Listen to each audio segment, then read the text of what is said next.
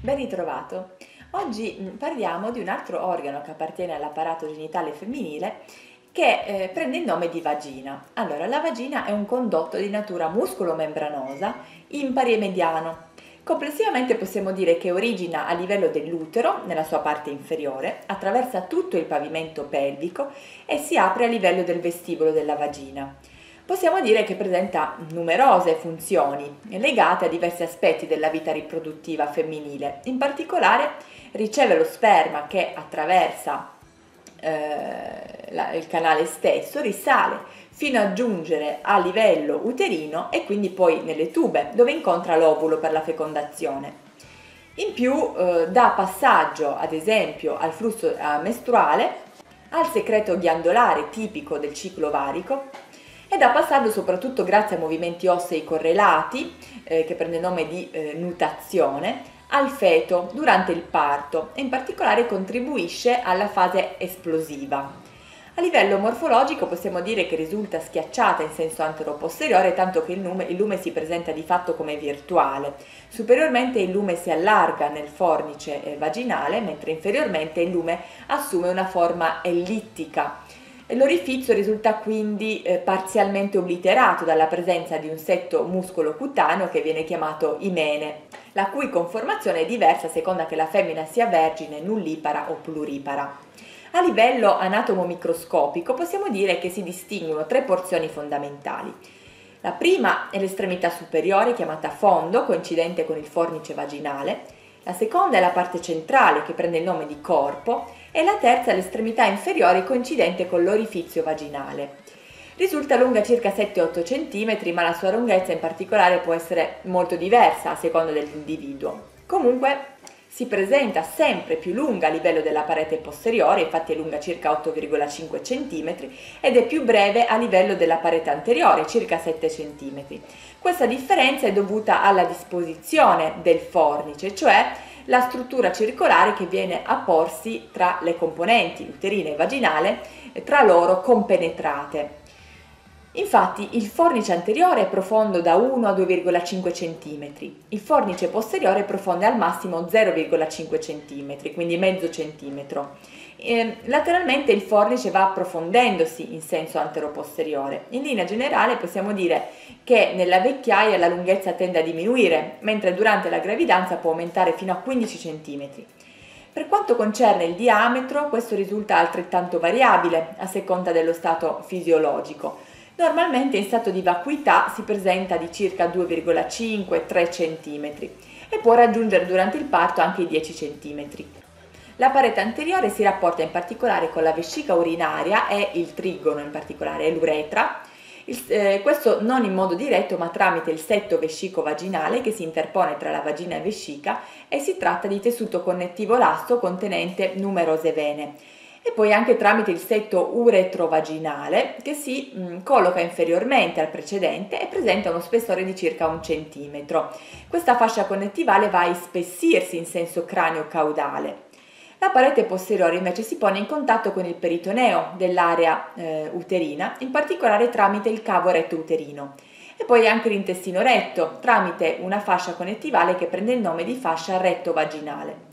Nel perineo eh, le strutture di retto e vagina divergono andando a formare il cosiddetto trigono retto-vaginale con base inferiore e apice superiore. Lateralmente, eh, nella parte che si colloca superiormente al muscolo elevatore dell'ano, eh, mm, c'è il cosiddetto legamento largo. Eh, più lateralmente a questa struttura si colloca uno spazio connettivale che contiene i vasi uterini e l'uretere.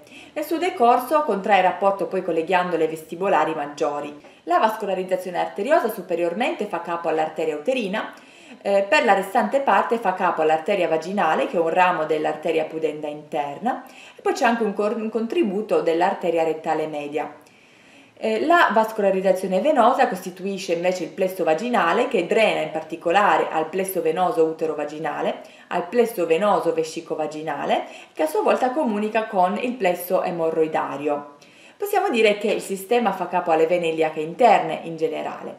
Per quanto riguarda invece il drenaggio linfatico, questo fa capo ai linfonodi ipogastrici per la porzione vaginale eh, media e superiore i linfonodi sacrali che si occupano del drenaggio della parete posteriore e i linfonodi inguinali superiori assieme ai linfonodi della vulva. A livello dell'innervazione è, eh, quella vegetativa è affidata al plesso utero-vaginale appartenente al plesso pelvico e anche ai rami del parasimpatico sacrale. La porzione inferiore tramite il nervo pudendo eh, invece è fornita di anche una sensibilità somatica. A livello della conformazione interna riconosciamo la presenza delle rughe vaginali eh, che sono più pronunciate nella parte inferiore. Queste rughe sono più sviluppate nella neonata e tendono poi con l'età a diventare via via più piatte. Possiamo dire che eh, da queste si dipartono due colonne delle rughe, si chiamano proprio colonne delle rughe, che si collocano medialmente sulle due eh, pareti anteriore e posteriore. Anteriormente a livello del trigono vescicale questi rilievi si interrompono sul trigono. La struttura microscopica risulta poi costituita, ovviamente essendo un organo cavo, di tre tonache che procedendo dall'interno all'esterno sono la tonaca mucosa che eh, continua eh, l'ectocervice superiormente, che si trova superiormente, e in basso continua poi con la cute del vestibolo vaginale e risulta composta di un epitelio pavimentoso composto costituito da quattro strati, lo strato basale, lo strato parabasale, lo strato intermedio e superficiale. Si presenta strutturalmente molto elastico, di colorito roseo-grigiastro. Poi abbiamo la lamina propria che risulta ricca in neutrofili, la cui azione è di natura difensiva rispetto agli agenti eh, esogeni eh, e poi un'azione ovviamente fagocitaria rispetto agli spermatozoi in risalita. Poi c'è una tonaca muscolare che si presenta abbastanza eh, importante con dei fasci di miocellule organizzate a costituire delle fibre ad andamento circolare e longitudinale. Infine c'è la tonaca avventizia che è costituita da tessuto connettivo denso ricco di una componente elastica. Passiamo ora ai genitali esterni. Possiamo dire che nel complesso gli organi esterni dell'apparato genitale femminile sono organizzati a costituire la vulva, che prende anche il nome di pudendo femminile, e si colloca inferiormente al perineo e in posizione intermedia rispetto alla radice delle cosce. Complessivamente possiamo dire che i genitali esterni sono organizzati in questo modo. C'è il monte del pube o monte di Venere, che è quella sporgenza cutanea situata al davanti della sinfisi pubica e che in alto prosegue senza una netta demarcazione con la regione ipogastrica, lateralmente da, entra- da entrambi i lati è delimitata dall'inguine, inferiormente continua ehm, nelle grandi labbra. Ci sono poi appunto le grandi labbra che sono due grosse pieghe cutanee che sono poste sotto il monte di Venere e si sviluppano in senso antero-posteriore e risultano eh, divise tra di loro dalla presenza della rima vulvare. Le piccole labbra sono anche chiamate ninfe e sono due pieghe cutanee eh, disposte in senso eh, uguale, antero-posteriore, uguale a quello delle grandi labbra e eh, complessivamente risultano comprese all'interno delle grandi labbra, eh, quindi racchiudono, stanno internamente alle grandi labbra e racchiudono l'orifizio vaginale.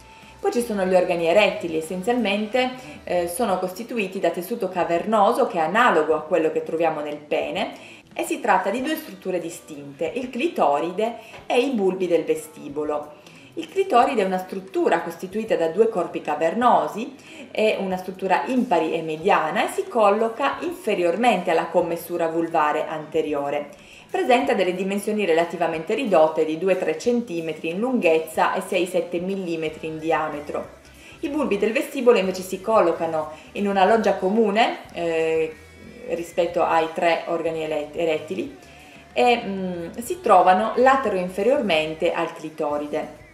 Poi c'è il vestibolo della vagina, che è chiamato anche cavità vulvare, che è quello spazio che si trova tra le piccole labbra. Bene, abbiamo terminato eh, il discorso sull'apparato genitale femminile e la prossima volta potremo iniziare a parlare dell'apparato genitale maschile. Ti aspetto allora alla prossima!